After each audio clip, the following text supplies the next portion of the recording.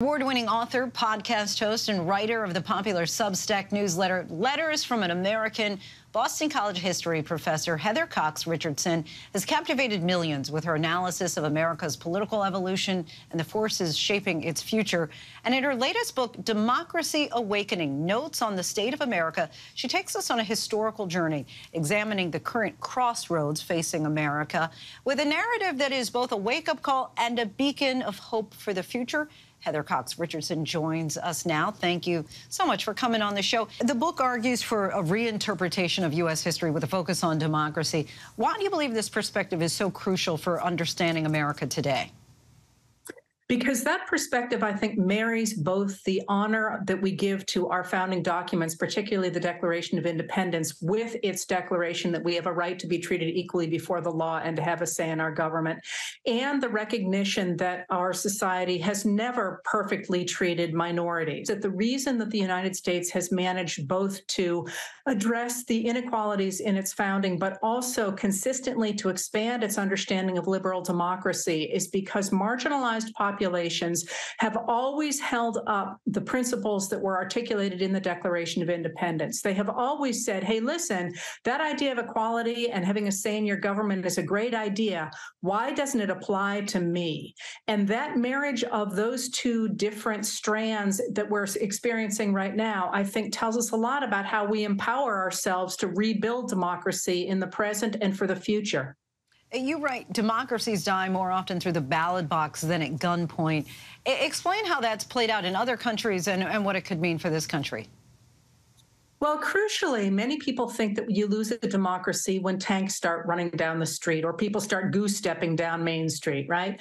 But the reality is that people lose their democracies when they come to believe something that isn't true. When strong men convince them to vote against their own interests and to give up their own power because they believe in something that isn't real.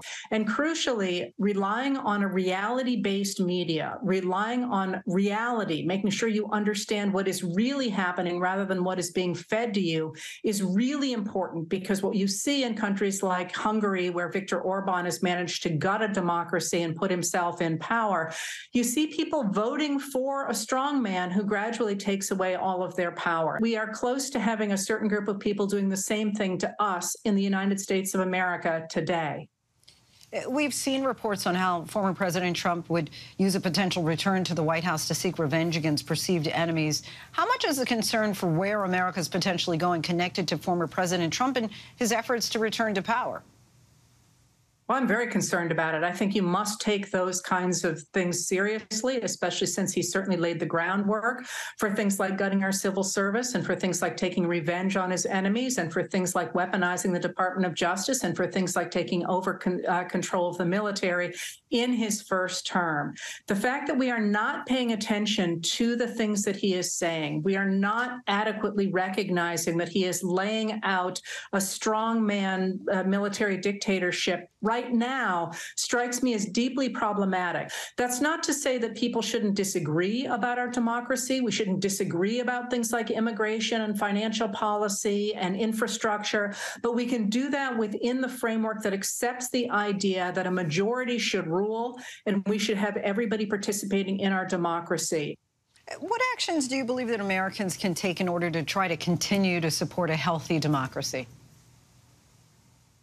The everybody should get involved, first of all, and they should take up oxygen, getting involved at the local level, showing up to school board meetings, showing up to town council meetings, showing up for any time in which your voice will have a direction, will, will impact the direction of your town, your state, and your federal government. Often I think people just sort of assume that if they put the right president in place, the rest will come. And the reality is actually uh, the opposite, that you need to put your effort in at all levels of government.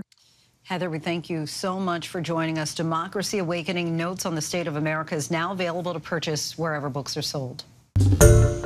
Hi, everyone. George Stephanopoulos here. Thanks for checking out the ABC News YouTube channel. If you'd like to get more videos, show highlights, and watch live event coverage, click on the right over here to subscribe to our channel. And don't forget to download the ABC News app for breaking news alerts. Thanks for watching.